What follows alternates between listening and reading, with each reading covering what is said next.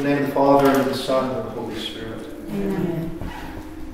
We thank you, Heavenly Father, for allowing us to gather here today and to spend this time with you. Help us through this discussion and this, this time understand more, more closely, more clearly what you've done for us and guide us in your divine providence.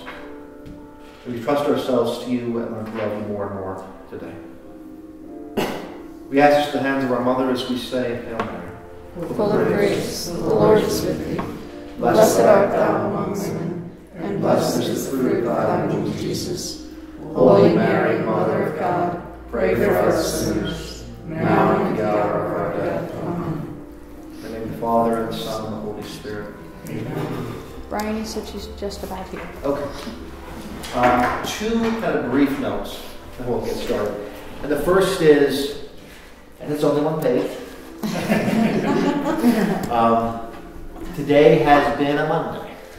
It's yes. I'll agree with It that. has been, One of the Mondays of all time? yes, one of those Mondays. You have a day off, right? Absolutely. Um, and so I apologize. It's up here. It's not necessarily on this page. My apologies. It's a very sparse outline. Um, if I forget something, if I do, ask questions. you, you all know what I'm going to say, right? so my apology. I'll try to detail. A better outline next time. It's going to happen this time. Um, and then secondly, um, as one does, last time I was, you know, pondering over, you know, the class, and I forget anything? I miss something?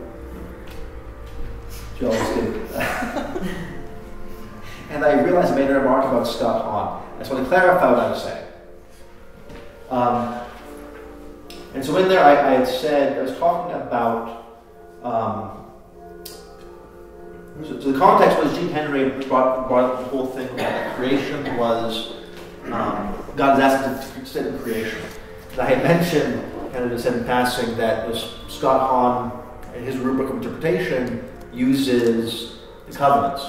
I said I would use sharing of God's creation. Just to clarify, I was looking at out Scott Hahn, his expertise. See someone like Scott Hahn disagrees with me, I'm probably wrong, go with them. I was comparing a, a rubric for interpretation, that was it. So just so you know, I was not trying to imply, you know, I was an expert about Scott Hahn. Maybe I think that, I must be trying to imply it. okay, so we're going to focus on Joseph today. And the story is a very long, very complicated one, so we're not going to go into it in great detail. Um, but I do want to cover highlights. And there's lots to talk about, to cover, and to speak about. And again, I am not certain I know you are with the story. So I'm going to assume you know basically, I'm going to start talking very briefly.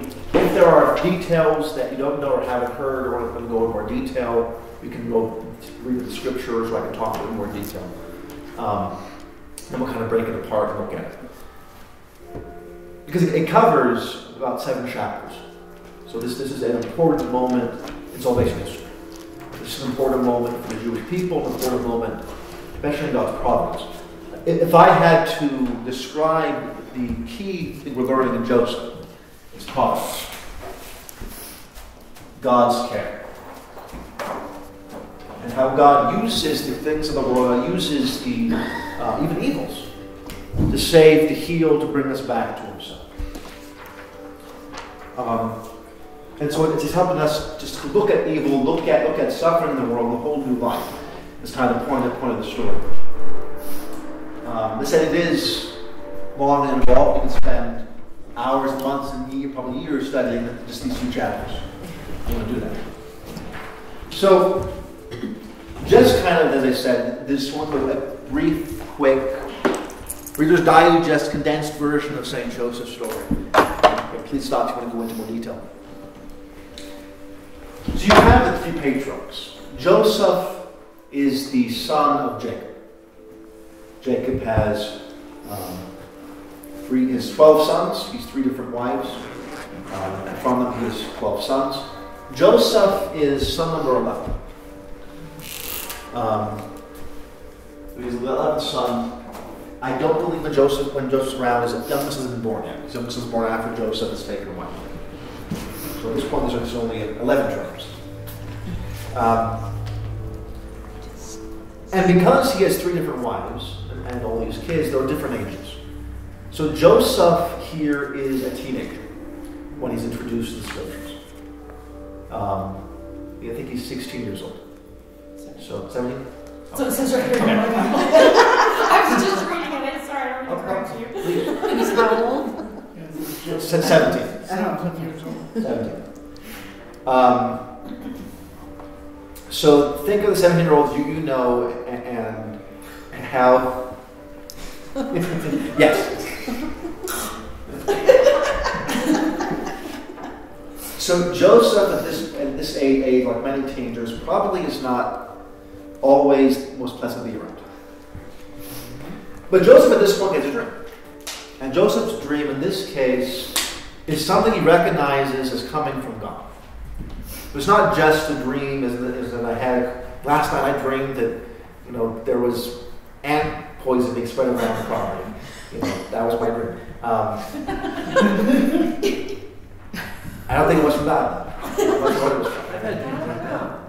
Um, wishful thinking, or maybe I ate something, but ate, something too late last night. Who knows? Um, what was it? The uh, Christmas Carol. It's more graven, ray about it. Um, but Joseph dreams, he noticed something from God. And in the dream, what he sees, he sees the sun, the moon, and the stars bow down before him. And the sun, the moon, and the stars, he knows symbolize his brothers and his dad. And so he tells his brothers the dream. Again, 17 years old, and I imagine this was done with great kindness and great charity. Sure. um, and they get mad. They get annoyed. Like, what do you... Stop. You know, we're, we're going to bow down to you. Give the youngest. Come on, go away. You're in Jewish culture, the oldest is the one who has the authority. The oldest is the one who gets the, the name, gets the property, gets the. And Joseph at this point is already special to his father. And he's special because he is the son of Rachel. Rachel was the woman he wanted to marry. He was tricked into marrying Leah. Rachel, for a long time, had no children, and then she has Joseph. Jo- Joseph is a very dear to him, very beloved. He- He's the, the son of his of the wife he likes best, he loves best. And so the other brothers are kind of resentful him. And at times, uh, Jacob is not very wise. He's chosen special favors because of this. Um, the others are a little bit jealous. Um, and Joseph rebukes his son. Says, you know, what, what, are you, what are you saying? Or what are you trying to imply? The kid, shut up, basically. Um, and Joseph backs down. But he holds on to this because he says there's something here. And so already you, you have this idea where there is something extraordinary happening. Where there's something where God's getting involved. Where God's doing something beyond ordinary human comprehension, ordinary human plans. Because ordinary human plans, who is we to inherit? It would be Reuben, the oldest. But just like Jacob and Esau, Jacob inherits. God also does something here. Look at the minute why what's going on. Um, and basically, God is overturning ordinary human conception, ordinary human act. He's, he's getting involved. But the brothers are jealous. And so a little while later, Joseph sent, sent out to, take, to go to his, his, his, his brothers, who are all shepherds, because Jacob's a shepherd. And this theme, shepherd theme, um, is something that I pay attention to when it runs through the Bible. And so while he's there, the brother's like, here he comes, here, here's that dreamer. Here, he's, let's go, let's go. And you have here kind of the story where you kind of see mob rule going on. Where everybody, when they're when they're together, no one, no one wants to say the right thing. You get a couple different people who both don't want to be involved but aren't brave enough to speak up like they should. And so Reuben, the oldest, says, eh, let's not kill him, he's our brother. Let's just get rid let's just throw him in this well and die. They go, okay. That's awfully generous. Because Reuben's plan is when everyone leaves, he lets help them out.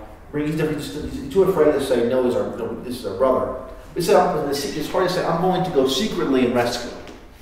I'm going to go deliver him, and bring him back to dad. You know, so at least he, his heart's in the right place, but he's a bit of a coward. And then a later, Judah you know, says, well, let's not let them starve to death. Here are some slaves. Here are some slaves, Ishmaelites, who are cousins, second cousins, are third, fourth, fifth, who are slavers. Let's just sell them as slaves. Because it's a brother. Yeah, let's not kill him. That's, that's, that's too far. Let's just sell them as a slave. And so that they sell him for 20 pieces of silver. Um, and Judah, again, he's trying sort of to do the right thing. Kind of. Later on, we'll see he repents and that he does the right thing. Um, but here, you know, he's not willing to kill the brother, at least he'll be alive. Reuben comes back and he says, what, what happened? What happened to Joseph? He's gone. He, he had left for a bit, who knows where. While he was gone for a bit, they sell him to the passing Karen. And they take the cloak, and they dip it in a sheep's blood, take it to their father, and say, Hey, Dad, sorry, your, your son was killed with wild beasts. And Jacob believes this. He's in great mourning and in great sorrow. Joseph, meanwhile, gets sold to slavery. He gets becomes a slave of a man in Potiphar.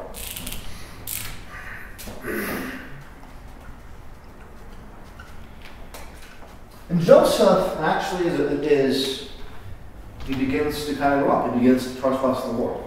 And he begins to be able to give Potiphar advice. And Potiphar, over the few years where he's there, begins to get wealthy and rich. This is someone he trusts, someone he's able to lean upon, someone he's able to give advice from. Joseph's very prudent. But Potiphar has a nasty wife. Um, Joseph's, at this point, is a, a, man. Probably Potiphar's wife is, is, a lot younger than he is. In those days, it been common for a wealthy government official to be married to someone much younger than him. The implication, it's not said to say this, but this is my interpretation, the implication I get from this, is Potiphar is probably in his 50s. His wife's probably in her 20s. You? And so she's, but she's always a wealthy, wealthy woman, Joseph's really cute. And so she tells Joseph, let's lie down together. It's the way that the euphemism that is used in the scripture. Let's lie down. Um, and Joseph says no. Because betrayal of, first of all, God, but also Potiphar. Because he's loyal. He is loyal to his master. He's doing his best to work be where he's found. Now, Potiphar's wife is all power, all the authority. Anything she says, she's going to be believed, not Joseph. Joseph is a slave. If you're a slave, your master is right over life and death over entirely. And Potiphar's wife is angry and insulted that he says no. Asks him over time, and even grabs onto his shirt. He says, he, he says no, but he leaves the shirt behind him. He's trying to escape And she's so angry, she screams, calls for help, and says, See, he tried to attack me, he tried to rape me, and left behind his shirt. And Potiphar throws him into prison to die, to be the rest of his life to die. So Joseph had been sold by his brothers, abandoned slavery, lied about, maligned, and cast into slavery to die, and cast into prison to die. And while he's there, this is can get. Everyone is, is guilty, no one cares about them, no one's forgotten. While he's there, he's there in prison with two other men the chief baker and the chief butler of Pharaoh. Butler in those days would be somebody who would carry the bottles. Uh, bottle and bottle come from the same root word. And so this would be someone who would take, give Pharaoh the wine, be a food taster, be in charge of the food stores, making sure Pharaoh got the right stuff. The baker would be the one who would make the bread, make, make the food, and make certain Pharaoh got the right things. Both are in trouble. It's not for what they did. Um, they both have a dream. Both have these dreams that are from God. They don't know where it comes from, but they know it's, it's not an ordinary dream. And Joseph is able to interpret. So Joseph has this gift, and this vision, where he's able not only to have dreams, to explain dreams. And he tells the, the, the chief baker he's going to be killed by Pharaoh, and he's going to be for, uh, forgiven. This happens three days later on Pharaoh's birthday. The butler is forgiven, brought back into service. The baker is killed. Um, not again exactly what they did, not clear why the difference is, but the presumption is the butler did a much lesser crime. Maybe he spilled in Pharaoh's shoes, who knows. But the baker did something pretty grievous. Um, and worthy of death. Um, but Joseph says, the butler, remember me. Think about me when, when you are, are back in Pharaoh's favor. Help me out. Give me a song. But the butler forgets. So Joseph again is abandoned. And he is left alone in the darkness and in the, the prison. And then Pharaoh has a dream. And this is the famous dream where Pharaoh sees, first of all, the seven cows. And there are seven fat cows grazing. And they're fine and healthy, and the Pharaoh's, this, this is great. You know, cows are, you know, are all kinds of stuff from cows. And then seven lean cows crawl up from the river and eat the seven fat cows. He wakes up and what was that? He went to sleep and he has a dream. He sees seven beautiful ears of corn. In this case, wheat, probably. A corn corn in the in the biblical sense, corn does not mean maize. We think of corn now. Corn any kind of grain. Um, it's just over time now we look at corn as one thing. Any kind of grain, probably wheat. Um, and so the wheat, seven ears of wheat, nice fat, full ears, and then out of the same stalk grow seven shriveled, blasted, worm-eaten ears that destroy and pull out the other seven. And no one can tell Pharaoh what this means. But Pharaoh knows it means something. He's not thinking, that was a strange dream. You know. but most time you have a dream, you think, cool. Interesting. And a nice story. I wonder what will get number on I've never had a dream where God speaks. But, but this was something very clear. It was something that the culture, the gods would speak in dreams. And so it was something that people were used to seeing. But Pharaoh sees this as a unique, special dream because the dream was had to think what a dream. But no one can tell what it means. No one, no one can tell him what this dream is.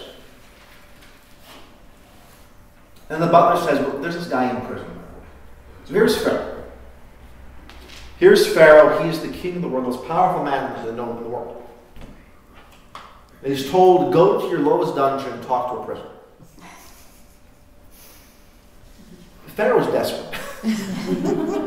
right? Most times that the Pharaoh is told, talk to a prisoner, you go, aha, yeah, okay, good, good. Thanks, no thanks. Pharaoh knows there's something really important here. There's something really special here he must have the answer to. He's being told something by the gods. He's told something by something divine that can do something. He's worried And Joseph, when he tells him, Pharaoh knows this is what he's being told. He hears it, he knows this is right. Joseph says there's going to be seven years of plenty. Seven fat cows, seven full years. And there's going to be seven years of famine. Are going to be so terrible, so bad, that it's going to be as though the seven fat years were, were didn't exist. It'll be over the entire world. And Pharaoh says, well, great, well, that's, that's terrible. That's what we do. And Joseph says, here's what you do. During these next seven years, begin to set aside a large amount of grain, a large amount of cheese and food everything else. You know it's going to last seven years. So plan store for seven years. You know, plenty to store up, plenty to set aside, planning so that when the famine comes, we'll be fine. And then set, set officers in charge over the grains, over the storehouses, have been distributed slowly over the next seven years. And Pharaoh is thrilled and rejoiced. This is, this is great. This guy knows what he's talking about. This must be someone from, God. This is someone who is not making this up. This is someone who's not asking for something. But he names Joseph, from the prisoner in dungeon to being the, the, the term is, you ride with me in my chariot. In the words, you have my authority. The second command after me. I give you my own ring. When you speak, as though I'm speaking. I'll dress you in my robes. You're to wear a collar rolled around your neck. Anything that you say, anything you charge, or what you want, you tell people to do, they must obey as though I were speaking. And Pharaoh, remember, to Pharaoh's point of view, the people, Pharaoh's God. So Joseph was, was raised above everybody else. This is quite a jump. This is quite a jump. Seven years pass. So, sorry, Joseph at this point is 30 years old. He's 30 years old, um, and he is, begins to rule Egypt. He's basically the Egypt. And at the age of 30. Seven years pass, exactly as he foretold. You have these beautiful, these great years of plenty, the storing of the food, preparing. So while everyone else is kind of rejoicing and relaxing, Egypt is preparing. And they're getting everything ready. They're storing up food. No one else, everyone else is going, cool, that's another nice year. But Joseph and, the Pharaoh Egyptians not. Spend these seven years preparing, and then when the famine hits, they're fine. Not a problem. But the entire world which could, it's hard to know what that means, the entire world, literally, or at least, at least the Middle East, uh, there is famine. And only the Egyptians have food. And they have not only for themselves, but to sell to other nations. So they have sort of well. And so Joseph has saved not just Egypt, the entire world. And Egypt to get really wealthy off this too. Because now they can sell the food for if they want to. But that's, that's another side. um, Joseph's brothers come. And they haven't seen Joseph at this point for probably 15, 20 years. Um, Joseph, Joseph was 40 now. He's been, he's been in Egypt as a ruler for seven years. He's learning the language. You know, he's going to be Baal Tam. He's going to be. They, they don't recognize him. But they go up. They go up to beg for food. And Joseph recognizes And Joseph said that this one had a real struggle in his heart. He has absolute power.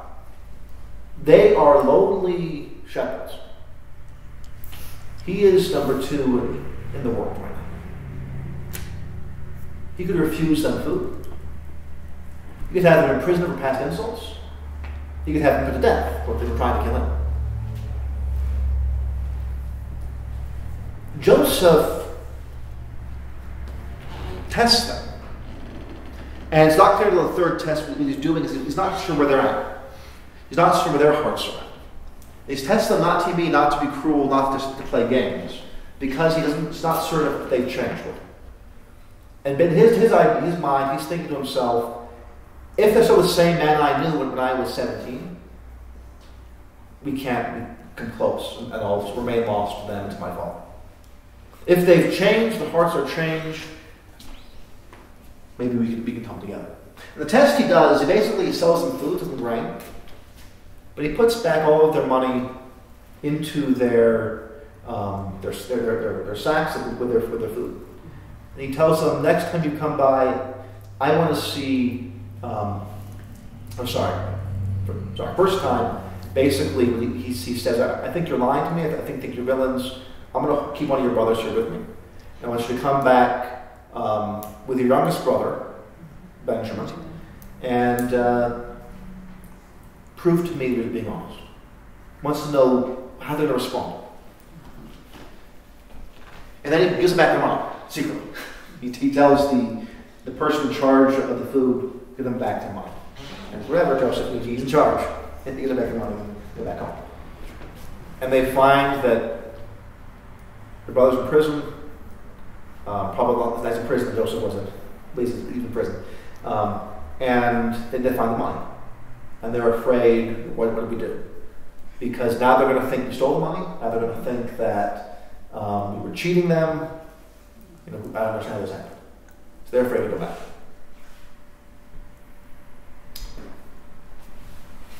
They go back a second time.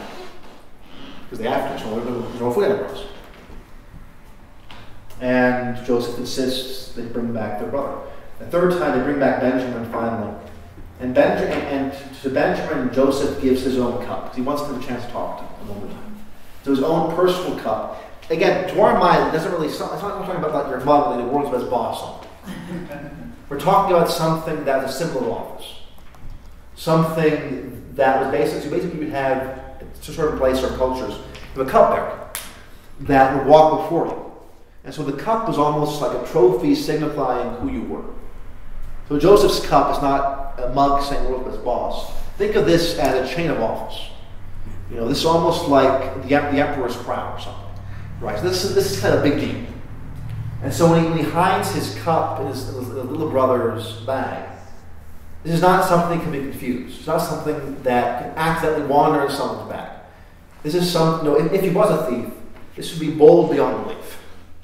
This, is, is a big deal.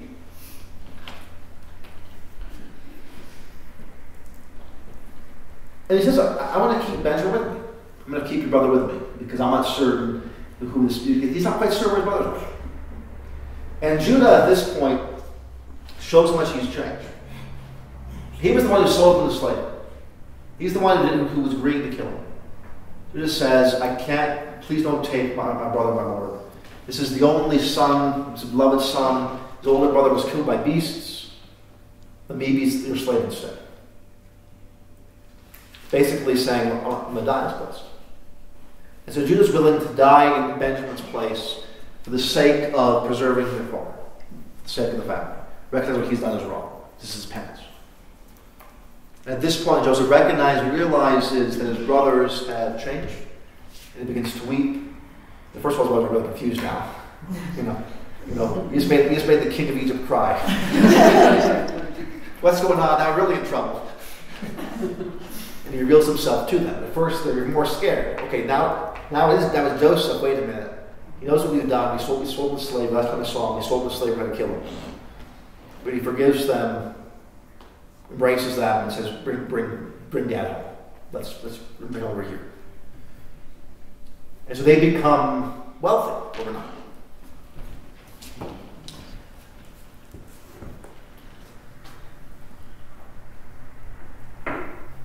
So in a nutshell, that's the story of Joseph. Let's, let's break this down. Let's break this apart.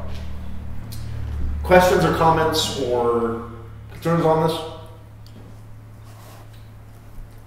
Cool. Why did they scream about Um, it is a, he, a, a Egyptian word that no one really knows what it means anymore. Okay. Um, it's, it's some kind of title of honor. Um, I've seen different interpretations even of his name. Again, the name, name that Pharaoh gives him isn't clear what it means. Uh, once, one commentator said it means savior of the world. Someone else says it means interpreter of dreams. Someone else said it means the God of deals. Well, it was when he put him in charge, was that just so that anybody um, denounced that it wasn't in charge, that it would be a work, and then that would be the term to say, This would be more, my understanding, and again, this, this is something that, that, again, it's one of those words that's been lost in history. So it's, it's, it's, it's hard to remember exactly. But something like basically saying, hear ye, hear ye, the great Lord is. You know, it's basically, it's a trumpeter blowing before him, blowing before him, so people know someone really important okay, Um, and this would have been an unusual honor. Right? So this is something that would have been reserved for the pharaohs. but he was a John D. fellow. He's Jolly Good Fellow, more than that, he's a Jolly Good Pharaoh. Right? This, is, this is a special thing. This is something that a less Lord would get. Right? So when the Pharaohs are invited in my chariot, Right. he's giving him a special authority, a special honor, a special privilege. And so Abrek, this is a similar privilege, whatever it means. It's not quite clear what it means. But it's some kind of special privilege or honor whereby people know the guy who's coming is a big honking deal. Um, so if you want to translate this big honking deal coming down the road, I mean, that, that's probably close enough. Father, there was a movie about this in Hollywood. Was There it were the several. greatest story on earth or something? Which one? I don't remember which one it was. Didn't DreamWorks It was make the a really called good Joseph. 2D animated Yeah, version the of this called too? Joseph. Yeah, drip is, It was several, called what? It was called Joseph. Joseph? Oh. Yeah, it was- We just saw it. So. It was good. I'm like, I I just saw this It was really TV. No, I mean, They stuck to the story. Yeah, they It was did. good. I thought they did a good job. Yes, they did. An excellent job. Yeah, no, I mean, the- and so the, the older Hollywood usually does better jobs than the newer Hollywood. Yeah. Yeah. The newer Hollywood, probably Potiphar's wife had a bigger role. Leave it at that. They followed it very well. Newer Hollywood, they wouldn't even have been there. they would have substituted somebody else. That's right. Joseph gets superpowers. Yeah. Just so the entire thing can be shot on a three by three green screen in a closet. Right. Um, let's break this apart. Okay, so that's the main story of Joseph. And what you have here is a story of a lot of ups and downs. Have a story of where at time it seems like life is hopeless. Life is broken, everything is falling apart. But, but, from step, but when you step back a little bit, you can see God's hand is here. And God's hand is here to save the entire world. So you have here again the beginning where Joseph gets a dream. Joseph has this, this, this blessing from God be able to interpret dreams, to have dreams, see visions. Not because he's special in himself. And again, this was back to something we talked about last time. We have here again this, this, this, the same old story. God is the one who acts first. We have to respond. We're expected to act, sorry, we're expected to um, be involved in that. We're expected to use the gifts He gives us. But God acts first. God chooses this young boy and sends to, and, and society is going to be the one to save the entire world. And to save the entire world, not just through power or through you know, happy ways, but through suffering. He has to suffer to get where he's going. Right? If he hadn't been in prison, he would be able to talk to the butler. And talk to the butler, would have known who he was. If he hadn't been sold into slavery, he would have been in prison to talk to the butler to be, to in Pharaoh. Had gone on the dream, uh, because we're jealous of him, they've been sold into slavery. And so God is in the background moving things, arranging things, not willingly evil, but using the evil of man to do great good. God's in the background and charge of all things, using the evil of man to arrange things in such a way that only in this way can think when things happen. It could have that other plan that God's got, of course. But but look at this and see exactly how each of these steps were necessary to get Joseph to a place where he's able to be in charge of Egypt, or number two. Right? He's, he's ahead of any other, other man other than Pharaoh. How long was he in prison? It's not clear, but he would have been. So, the story of being sold and being imprisoned, he was released by Pharaoh, was 30 years old and began, he began to be a ruler. Um, so, probably for a few years, though. Uh, that's not clear exactly how many. Something between 17 and, um, and, and 30. Um, he's Potiphar slave, gets Potiphar rich, sold, and then gets put into prison. So, think it could be a decade. Um, but then he gets, spends the rest of his life at the age of 30 until he dies, an old man, as wealthy and rich, powerless, and the friend of Pharaoh. Um, but again, all of these steps that happen in order for that, that to take place. And it takes place not only to take care of Joseph. So you have here is you have the Lord's providence taking care of Joseph.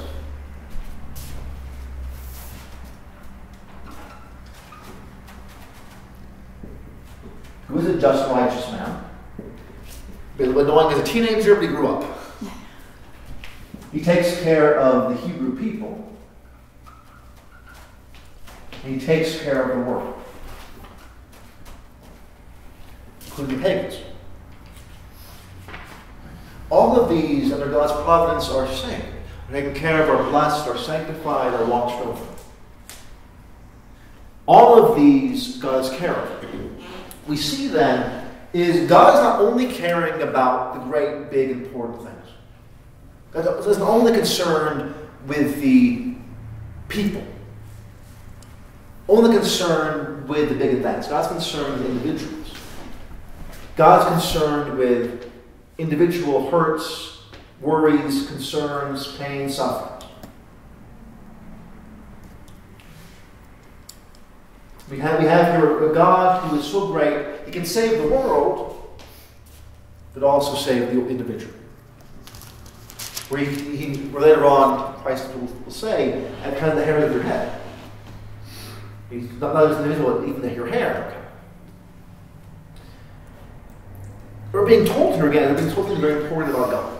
We're told about God is that God is, is truly infinite truly divine. There's several movies, several different books, several different stories which imagine God being basically just kind of a, a great man. A good man, but a man.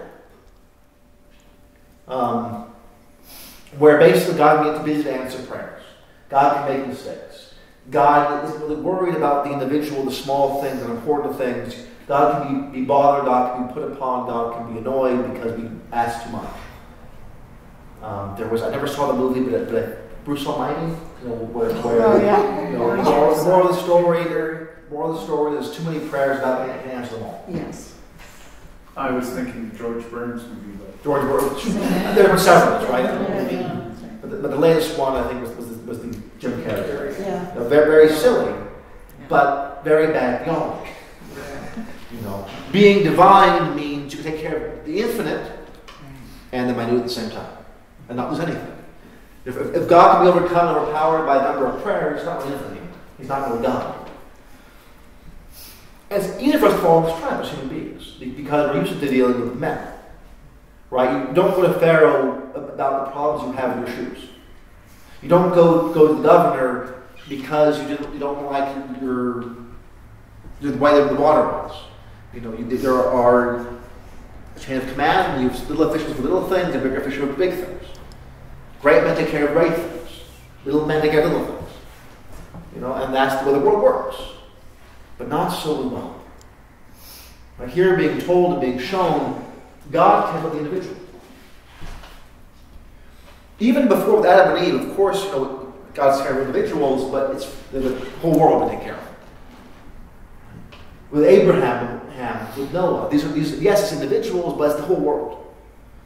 With Joseph, the story becomes almost intimate. You, because there are lots of other people running around. There are all, all kinds of other, other concerns, other events, other eras, other things happening. But we see here God dealing and, and concerned with, watching over, and protecting, and being with individual. But it's different than everyone else because other other stories it's almost it always concerned the whole. Uh, and it's, it's not really this way, but you could, you could read it simply where, where God is using it.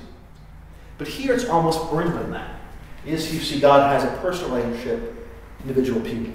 This is something again you'll see throughout the rest of the scriptures, where it's very clear where, where God wants to be known and loved and understood by each of us. As we're being kind of this cover is being peeled back. This good God, is all powerful, almighty, all good, cares about us individually. And that's a big deal. That's a big deal and something that's going to be different than the, the, the myths and the legends. Myths and legends are, are going to be, you know, the, the gods don't really care about people.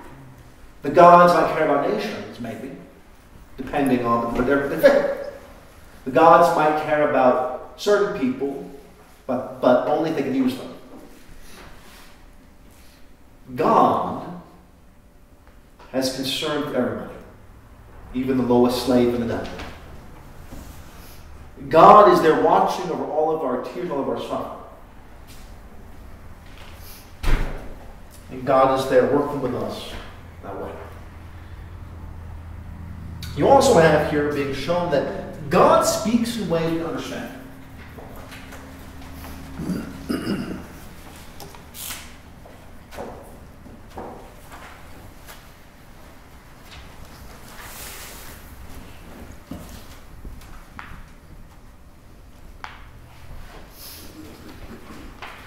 It always fascinates me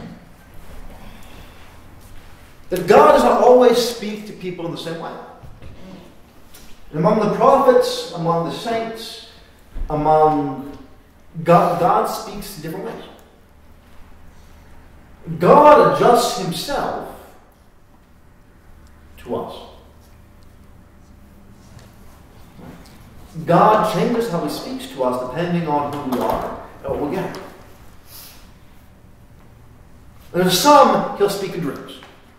To some, there's an angel sent. To some, there's a voice. To some, there's some inspiration in your heart. To some, he speaks face to face. But he comes and adjusts himself to us. Now that should be astonishing. Of often our needs. When God comes wants to speak to us. God's not up there saying, I, gave you a vision, I gave you, you know, my message, you better figure it out. I'm only going to speak in this way because that's what I want to do, and you all better darn it, better figure this out. God picks people, finds people, God approaches us, God speaks to us, God calls us, and there's no way we can get. Right? To Samuel, he speaks for voice. To Adam and Eve, he, he appeared. To Abraham, he, he came in the vision. But he came and saw us. And finally, finally, doesn't become a man. The ultimate adjusting himself to us. The ultimate coming down to being with us, talking to us, speaking to us. So for Joseph, it's a dream. For Joseph, it's a dream, and he inspires in this way, where he understands the speaking of dreams, speaking of places where um, ordinary life is pushed aside, and you're with God. Um, in many cultures, your dreams were seen as a place where the veil between the divine and the human gets kind of spread, gets very thin. Because many times places, God does speak this way. Not every dream, right? You can go too far. You know, I really don't think the dream I had where I was, you know, sword fighting a monster, you know, was God speaking to me. I was me fighting the devil, and the Lord was telling me, you know, no. Um, and people ask me, Father, I had this dream, it was weird, what's it mean? We'll talk about that after. Probably not much. Indigestion. spicy You probably need you're reading something or watching something kind of similar before you went to bed. oh yeah. You know, so God does himself to us. But you also have then right as blessed. See, we have here Joseph is a virtuous man. He's chaste. He's loyal. He's honest. He never forgets God. And, and all of these things he's showing his virtue. And so Joseph doesn't attack his brothers get revenge. But very tempting. Very tempting at least to hold over a little bit. I'll forgive you, but the next month, see my toilet back there? It's very tempting to hold something over their heads. He doesn't. Joseph is, is chaste. Again, you have a woman there who promises him wealth and riches. You, you lie with me, you'll get all kinds of stuff. It would be very easy, very tempting. Joseph says, No, this is a betrayal of God and my master. Where he's a slave, but he's loyal to his master. Right? And, and so even there, he, he's showing loyalty that that's an extreme loyalty. It's, it's powerful. It doesn't change. He, he doesn't, doesn't bend. He's willing to suffer righteousness. Um, he's loyal to his father. He brings his father into the land and takes care of him. He's pious. He takes, he takes care of his family. Uh, he remembers God. So even as, as a wealthy, basically second command of the king, he's always remembering God. And his last words, words to his children when he dies is, "But let me, let me remain in Egypt. When you, when you go to the promised land, take me with you." He's always thinking of the promised land, thinking of heaven, thinking of eternal life, thinking of God in the future. Uh, we hear here, there's a quote here from St. Thomas More. Who was Thomas More? Someone knows. What was that? A theologian. Theologian, what else was it? What else? What's he what's he famous for? Um, Working for Henry VIII. Henry VIII. Was that a good thing or a bad thing for, for More? It was second. Fair enough. Fair enough, because that was your question, wasn't it? So he, he was he was a married man, a chancellor, and he refused to acknowledge uh, the oath. Uh, he refused to acknowledge Henry VIII's adulterous unions. Um, was killed for Had a great movie, Man for All Seasons. I was just gonna, Uh, yeah, watch that. if you haven't seen it, ones we watched? see it. The Hall? Yeah, I think it was. Yeah. Yeah, I was gonna, Yeah. yeah, okay. Great movie, well worth seeing. Um, look it up. But while he was in prison, he wrote this very beautiful prayer, this lengthy prayer, uh, well worth reading. Um, but there's a quote in here that I really like. This is prayer. They begin the prayer by saying, Even the grace of the Lord set the world naught. He was, was chancellor. He, he was a pretty powerful, wealthy man. before he becomes a imprisoned for again being faithful to God. And then basically he says, let me, let me count my sufferings as a place you can confide, a place you can be with me. Um, but this is where he closes the prayer. He says, For the brothers of Joseph could not have ever done him so much good with their love and favor, as they did to him with their malice and hatred. And he wrote this in prison preparing the time. When he wrote this basically about Henry VIII. He wrote this recognizing that God is in charge even when we feel abandoned. And Joseph recognized this. This could have been Joseph's prayer. Where Joseph was there putting himself in, in the Lord's hands. Joseph works with God, he's a righteous man, he works with God. And he works with God not just by interpreting dreams, that too, not just for being faithful, just for being honest and virtuous. He works with God also in his suffering.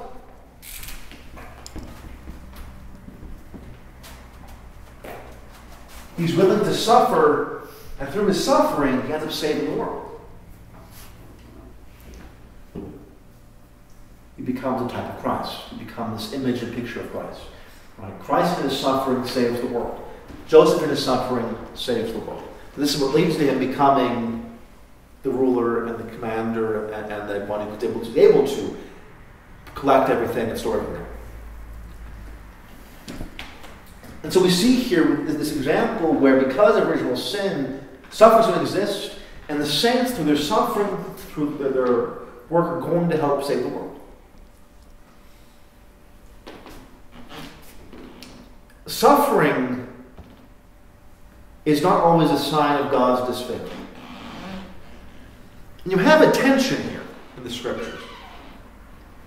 Because very often it was seen, because in the, in the, the book of Leviticus and Deuteronomy, um, God says to the Hebrew people, if you follow me, I'll bless you. If you don't follow me, you'll be cursed. And so often it was seen at times, especially in the cultural use anyway, that if you were suffering, you were wicked. If I'm a Christ, if you were a leper, you were wicked. If you were blind, you were wicked, your parents were wicked. The people associated directly any suffering we have with wickedness. But the scripture, many times, it's not the case. But certainly is the case that wickedness causes suffering. Certainly is the case that wickedness deserves punishment. Certainly is the case that, that sin deserves punishment and God will punish wickedness. But it's not the case that suffering equals sin. Right? And so both are not the same thing. And the tension there is being able to understand the difference, be able to see that at times the suffering that people undergo is salvific. So we have from the beginning of that being explained and shown. Where suffering here is, is saving. Right? The suffering of Adam and Eve is a punishment. The suffering of the world is a punishment. The suffering of Cain and Abel is a punishment. Joseph's suffering leads to salvation. Joseph's suffering leads to him becoming great and blessed. It's all. So we have here again pointing toward the cross. Where the Lord is showing us, teaching us, beginning to reveal to us how He's going to save the world, how He's going to redeem us, how He's going to bring us to Himself. So it's not a disciplinary suffering as it is a uh, just one that's brought upon you. Not that you brought it upon yourself, that's brought upon you, but most of the time when we look at suffering, we look at it as, okay, well, I did something wrong, so like God says, you know, I did, I, I'll discipline you just like a father disciplines his child to, to correct you and get you back on the right track. But if you're not on that, off the track anyway, and you get that suffering, that's more of the blessing through suffering. Well, so, so suffering has several reasons for it. Um, this is something we talked about last class. We can go over it again. Um, no, no, you weren't here. It's fine. Um, a reminder about everybody, and for myself. Um, basically, suffering has several different ideas behind it. Um, and so, yes, one idea is, is punishment. And the fact is, every suffering is because of sin. Every suffering in this world happened because of sin. But not your, not your own sin. Not be sins of necessarily, not necessarily, but, Well, like but who of us has no sin? That's the first one. That's the first step, right? Um, so every one of us has sin. Every one of, so every one of us deserves suffering at some level. But in the letter to the Thessalonians, I believe, Paul says, I think it's the Thessalonians. Paul says all things work for the good for those who follow God. Um, because basically, in the end, the goal is heaven. The goal is salvation.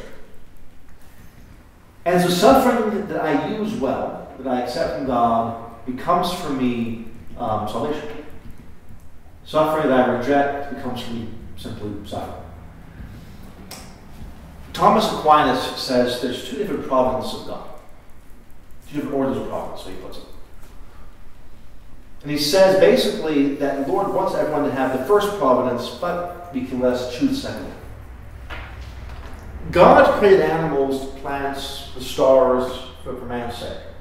And therefore, what happens to the plants, the stars, the animals is about us. This is why, for example, he, lets the fig tree die to teach us a lesson. This is why he lets the swine you know, be, be, be possessed by demons to show us something, to teach us something. Where our salvation, our understanding of God is more important than life of even thousand swine. Which is again, for us naturally speaking, wait a minute, is that really true? You know, those poor little, little piggies, you know, how can they suffer? But for God's eyes, no. Us learning about Him, us being saved, is worth animal suffering not. That's why we eat them. Uh, because there's a dignity to value as human beings have animals don't have.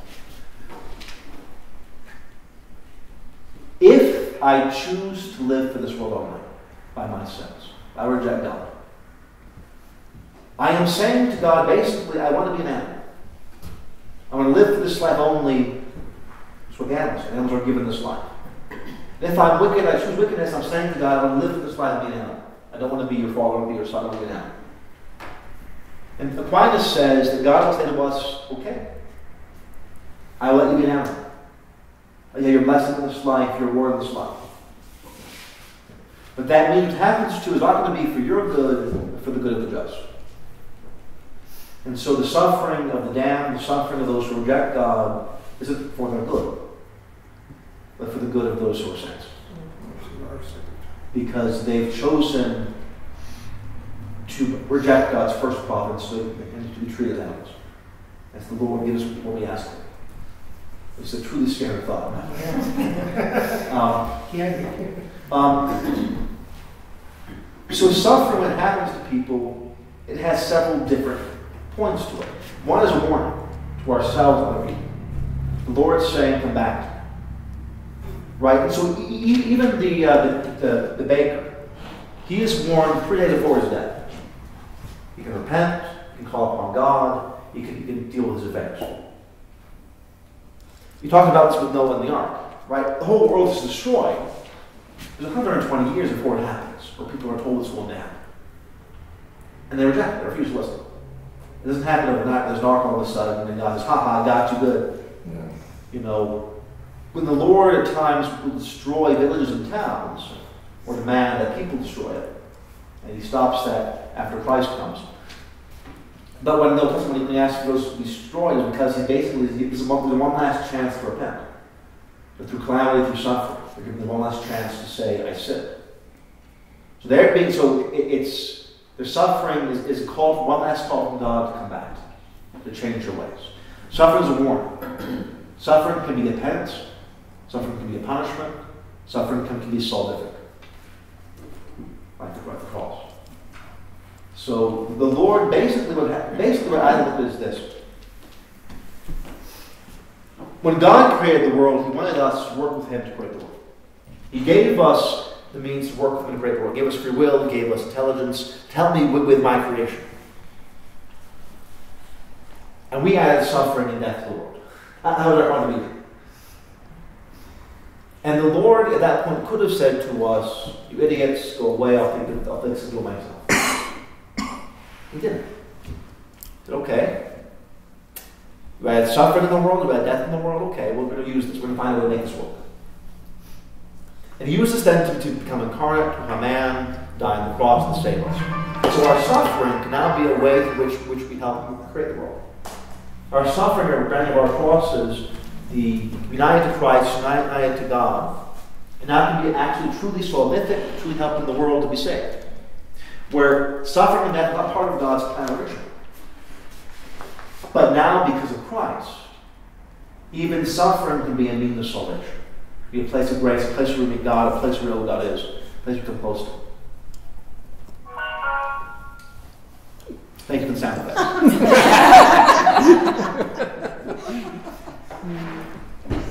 And we know which ones are accepted crackers.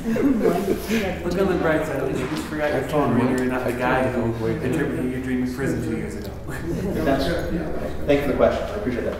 Um, it's totally too bad it wasn't like da da da. It was great. We can next time we'll arrange this beforehand. There you go. what church songs. We can do that. You can be my DJ. what, what, what?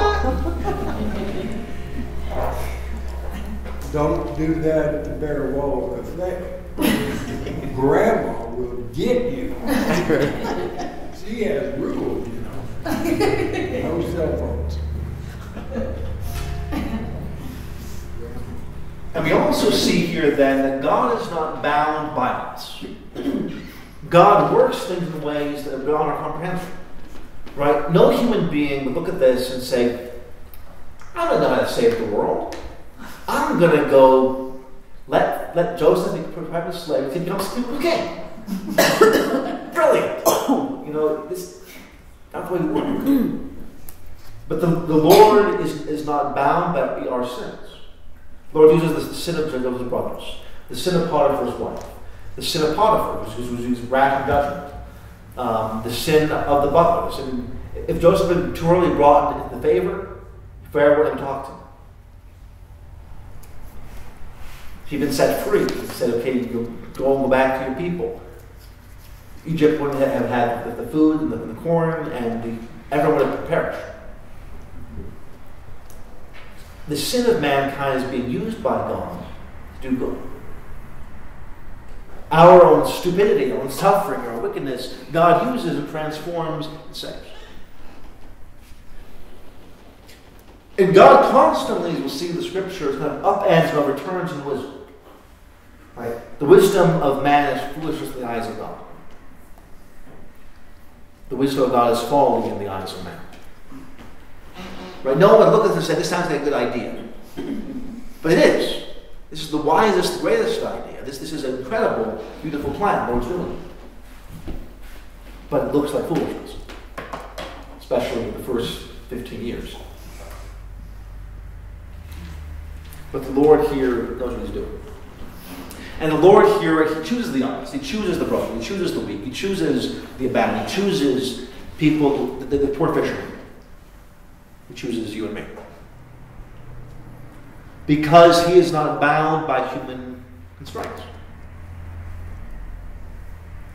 And the thing we're being asked to look at and learn then is that God's goodness, God's greatness, God's power is not overcome by us. No, too often we'll get stuck on us. You know, I'm too small, I'm too weak. Why do you choose her? Why do you choose him? Why fishermen? You know, why, why, why not choose emperors and kings? They would have been respected. Why not choose the wealthy people? Why, why not choose the poor, the, the suffering, the stupid, the foolish? Why then? Well, we know why, the big picture, but the time, why then? Why the others? He's showing us I'm in charge. Among other things, he's showing that he's in charge. We look at it, we see it's the best way, it makes the, it's incredible. But at least we can see this. He's showing us he's in charge, he's not bound by us. And so in our own lives, when we, come, when we face something, when, we're, when we, we're, we face the wrath of human beings, when we face a government or a nation that tells us disobey God, don't follow God, rather than being trapped and afraid, we can say, I'm in charge of this. And if I do the right thing, if I speak out, I might be sent to prison. But the Lord's going to use that to do good. Maybe that'll become the, the, the catalyst to save this nation. If I am speaking in public and I get hurt or struck or, or mocked or, or spit upon, that's going to be the means the Lord uses to save the world. And so my call then, like Joseph, to be righteous no matter what, do the right thing no matter what, speak up and trust not in my own power, but the power of the of God. To see that God's there working with us, saving us, walking with us, never abandons us. That God care not just for big events, just for us, just for those people, but for me. In my littleness, in my foolishness, in my weakness. The Lord can use me and will do me and walk with me and because and we have an even deeper promise than Joseph. That I've been baptized, I am the child of God, give Holy Communion, God, the temple of God. And so for us, we're being told and taught here, as for everybody being given these scriptures, trust in the Lord's power. I repeat, pray, trust the word. Do the right thing. Always follow the Lord. And even if you're trapped in suffering and abandoned and alone, the Lord's there with you. There was a cardinal, um, forget the cardinal's name, um, in Vietnam, and for 10 years he was in prison. He was kept in a room small, I think smaller than, I think it was 10 by 10. So that's what, about from here to there to there to here? For 10 years. Solitary prisoner. And when he was released after, later on, he said he did more good, good in that 10 by 10 room, praying and suffering for his people, than this time he was free as a cardinal. Because he was able to suffer, to love, and to trust God. Couldn't speak, couldn't preach, couldn't, couldn't work sacraments, couldn't these things need to mass. So I did more good for my people 10 by 10 room. Joseph did more good for the world in that little prison cell. So that's what that's being told. Um, Joseph here. Questions for a moment? Questions so far? Okay. Joseph here is a type of Christ.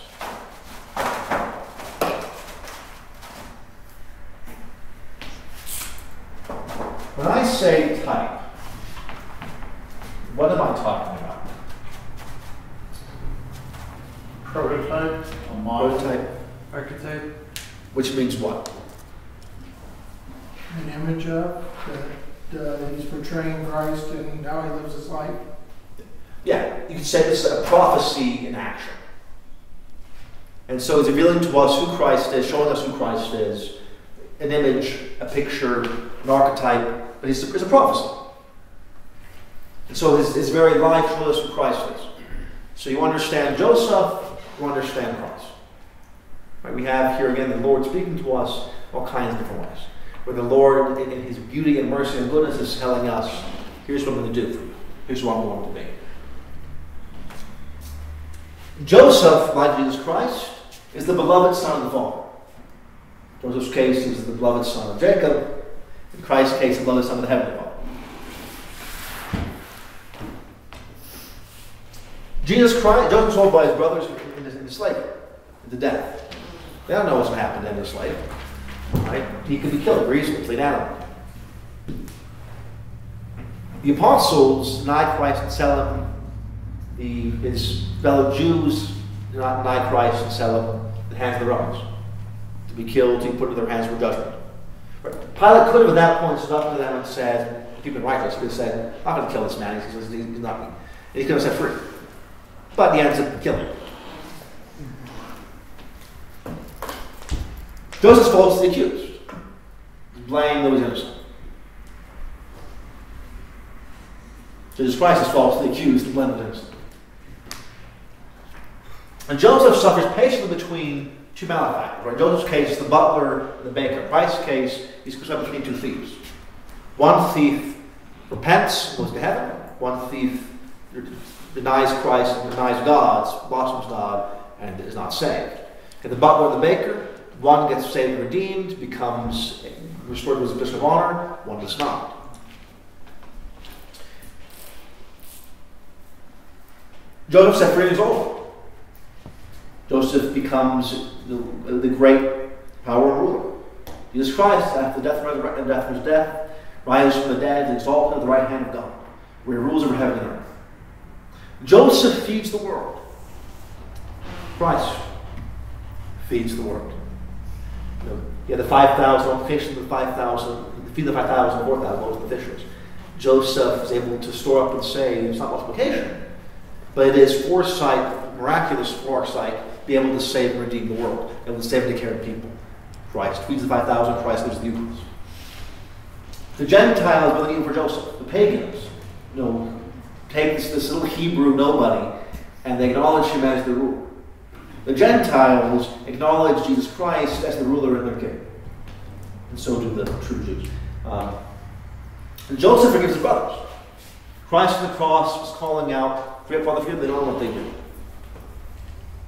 And Joseph, of course, redeems the world through his suffering, as Christ, by his passion, cross, and death, redeems the world. Joseph also is a type of, he's Saint Joseph.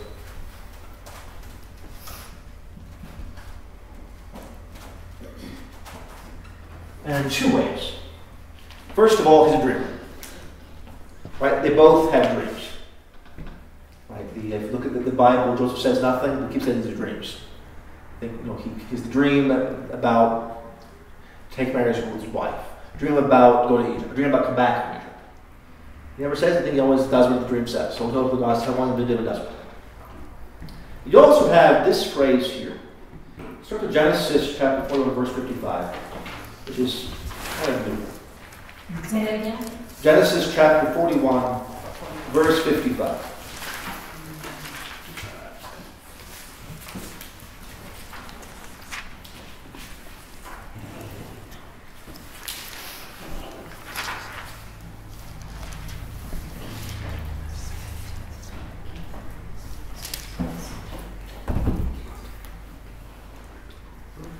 When hunger came, he felt throughout the land of Egypt. The people cried out to Pharaoh for bread. Pharaoh directed all the Egyptians to go to Joseph and do whatever he told them. These words echo somewhere. So Brother Andre would always say, referring back to this. You know Brother Andre was, by the way? Does anyone know who Brother Andre is? No. Okay. So Brother Andre Bessette was a 19th century, uh, he's a saint, Brother Saint Andre Bessette. Um, he was a doorkeeper of a little um, monastic order in Quebec. And his big dream was to build a church for St. Joseph. He had no money. He had, he had no, no nothing. But over the course of his lifetime, he saved his pennies and built this incredible cathedral. That's a huge basilica for dedicated St. Joseph. A miracle worker like Padre Pio. Uh, but his big thing was always go to Joseph. You have a problem, go to Joseph. Joseph will, Joseph will take of it, or St. Joseph. He's the father of Jesus, he'll help you out, go to Joseph. He's quoting this. Right? So we, we have here go to Joseph, we have to do whatever he tells you. What, what, what's Mary's last words in Scripture? Do whatever, Do whatever he tells you. Right? And so we have here this echo um, of Christ and St. Joseph and this reminder. Um, That's cool. God is so cool. One of these days, we're just going to have to spend one of these classes just looking for all the threes. Man. Yeah. Or, or fours or five. I mean, there's 40 days. You know, and there's so many things. Absolutely. Yeah, no, there's even the puns. You mean, we, we miss it. In Hebrew, there's so many puns. um, especially the first, the first few books of Genesis. Um, there's some great puns about uh, earth and man and, and blood and bread. Um, so in Hebrew, blood uh, is dam. I'm not sure. I- I'm going to think of the Hebrew letter, I don't know how to translate it. Is dam. Adam is Adam. Oh. Adam is also earth. And so you have things like um, the blood of your, your brother comes out from the earth. It's the Hadam of your brother comes out from the Hadam. The man is named Adam because he comes from Hadam. Water is Mayim.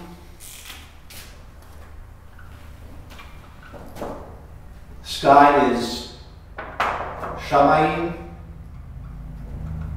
So the water comes from the sky. Hamayim comes from Shamayim. um, there's, there's a great article that, that was in uh, Crisis Magazine, if you go to New Advent, a few days ago, looking at the way the word used, Noah means rest. And so in the scripture when it says the Lord's going to give you rest from all sides, but there's many, many times with Noah's name and rest and know, these don't Okay, get quick question. Yeah. What's the Hebrew word for blue? For blue, I don't remember my head, I'm sorry. I have to look it up. I thought that the, the reason water and sky might be the same is because they're both related to blue. I don't think so, but give me one second, I'll check. Oh, Judy. I don't I don't believe that's the case. I'm just trying to think, what, what about those two things is similar enough that would make them have similar words? Well, re- remember that um, God separates the waters above from the waters below. The upper he calls the sky, the lower he calls the sea. So I think that's the connection there. I don't believe it, it, it's a uh, Color? I don't think it was a color thing. I, I- I've heard it before, but I don't remember. I don't remember top of my head what the word is. It's been a while since I looked at that, but I don't think it's related. What can I say? I couldn't get through this without my ad hoc Hebrew lessons.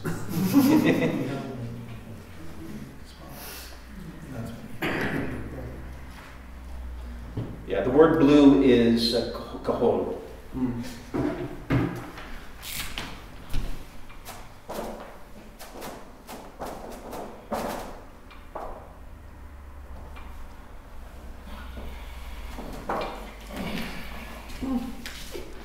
So I don't see a relation there. Maybe there is. I have, I have a question. I was reading some old scriptures and they spelled Noah, N-O-E. Hmm So does that still pronounce Noah, N-O-E, or no? I mean, I'm not, In the older, it confused Yeah. me for a while until I realized they were talking about Noah. right? I was like, Um, who's Noah? Who's Noah and why is he building this giant boat? I got it, that's what I got it. No, stop, don't. it was pronounced no. Um, the, the thing is, it's like.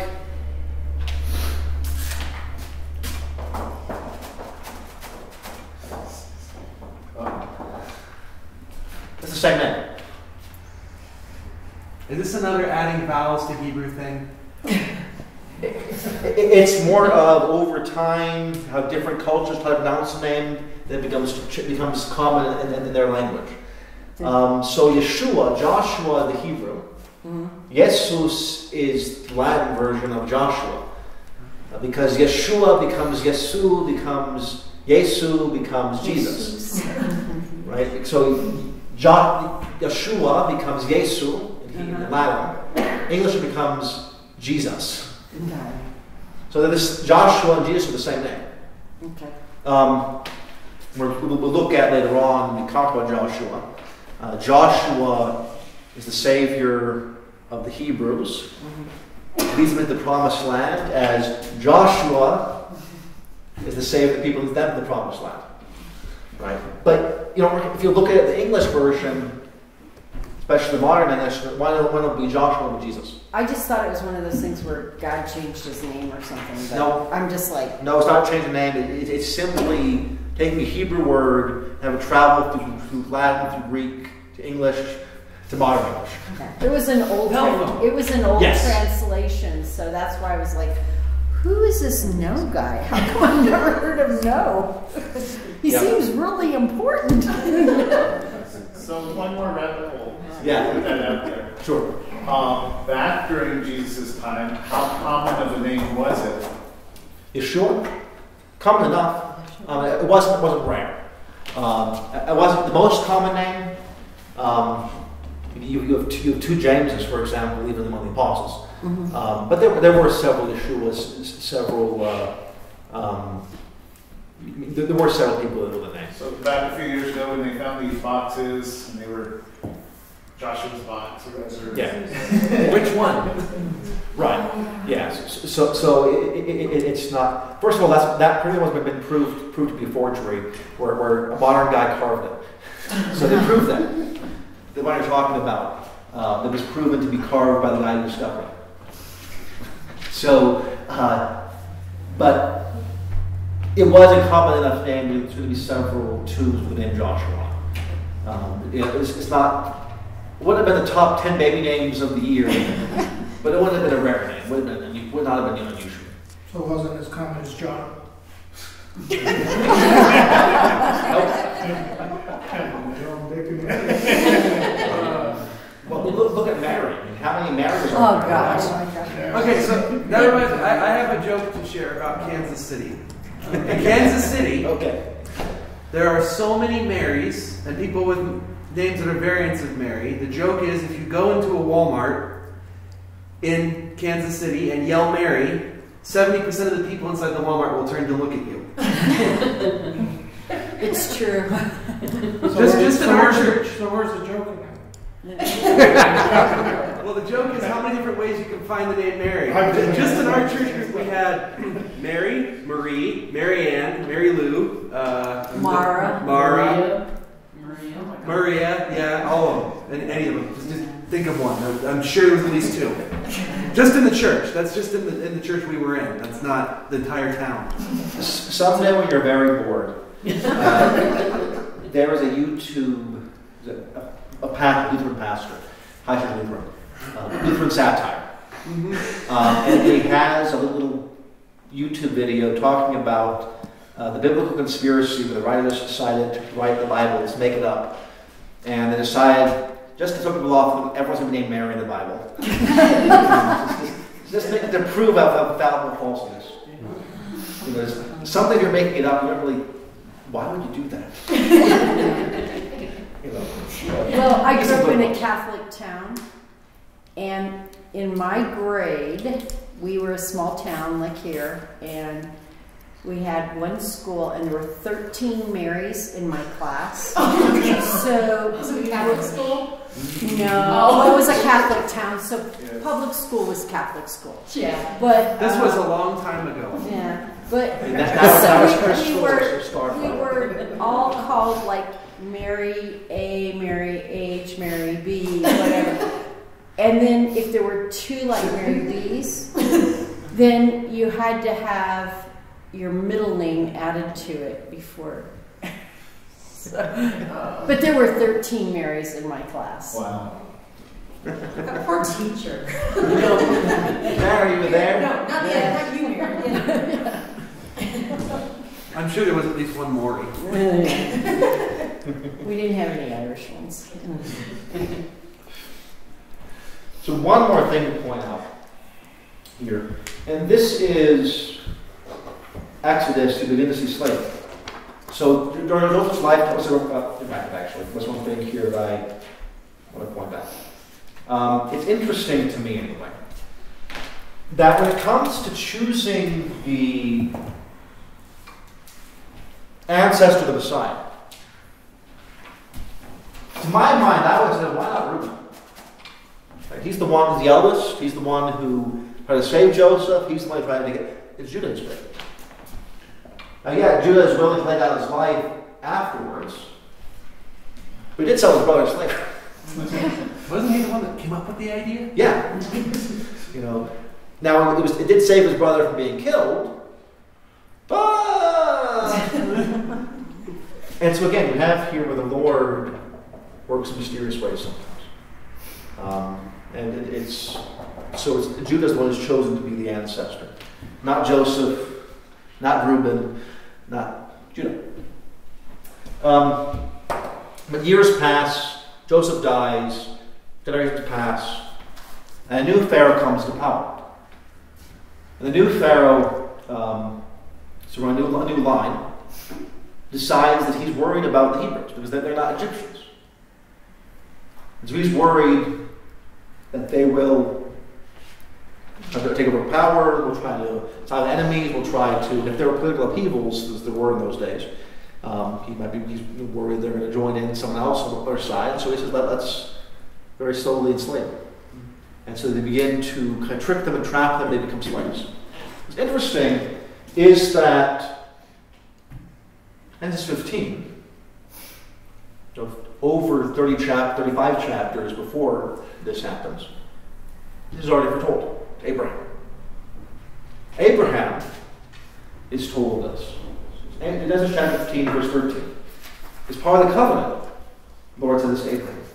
This is before Abraham's name is even changed. Is he still living in Ur? No, not, not at this point. Not this point. Uh, he's, he's, but so he's had the first. This, this, the covenant. the name hasn't changed yet, but he's, he's left already. First thing he does, he leaves. That's, that's his first sign of involvement God. Know for certain your descendants will reside as aliens in the land off their own. They shall be enslaved and oppressed for 400 years. 430, but just to round up, round up. But I'll do judgment upon the nation that they serve, and after this they'll go out with great wealth, which exactly. You, however, will go to your ancestors in peace, be buried in ripe old age. In the fourth generation, your descendants will return here. Because the wickedness of the Amorites is not yet complete. Remember, we talked about how the uh, the Lord doesn't put up with evil, and the Lord you know, will let people be. They'll put to a certain point and they'll stop them. The Amorites would later on be kicked out, destroyed by the, by the, Hebrews. But first, they make way for generations, giving them one more these four generations to repent. They have these this time to repent, this time to heal, this time to come back to God. They refuse their back, but they're given this chance, this time to repent and to heal. Yet we have this reminder that God sees evil as plans for. God knows what's going on. God is patient. God cares. God, God keeps count. But God is calling everyone back. But you have in the prophets who are working miracles even when we don't see them. Again, from our point of view, you would say, okay, we're going to be slaves in Egypt. Why go to Egypt then? But let's leave before Joseph dies. You know, right? That is human wisdom. Mm-hmm. But God is preparing the land for them. God's preparing the place. God's getting, God's getting Israel ready for them. And so their time of slavery is, is getting them ready to accept His law, getting them ready to become His people, getting them long for freedom, getting them looking forward to paradise. God's working even with the evils of men. God doesn't want us to do, God's not, planning on evil, God's not wanting it, accepting it, but God permits it. And He even uses it to save, to redeem, to heal, like He does with Christ on the cross. So again, story of Joseph really, to me, is the story of divine providence. The story of God working and God healing, God leading us in very unusual ways to our point of view. You see the big picture, like, wow, that's pretty cool, that makes sense. You look at the, the first part, like, what are you doing? You know, the Lord's abandoned us. The Lord's forgotten us. The Lord's re- re- rejected us. The Lord's there saving and healing and redeeming. So, questions? Comments? Okay. Great. Let's call it a night then. Thank you for your time today. Thank you, Father. If you don't mind, I, do, I would like to read the prayer of St. Thomas. Read the whole thing. It's a beautiful prayer. Um, and I think it's well worth hearing the whole thing. So remember, this is something that he wrote in the margins of a book as he was in prison in the Tower of London, getting ready to die. In the name of the Father, and the Son, and the Holy Spirit. Amen. Give me thy grace, good Lord, to set the world at nothing. Set my mind fast upon thee, not to hang upon the blast of men's mouths. To be content to be solitary, not to long for worldly company. Little and little utterly to cast off the world. To be not mind of all its business.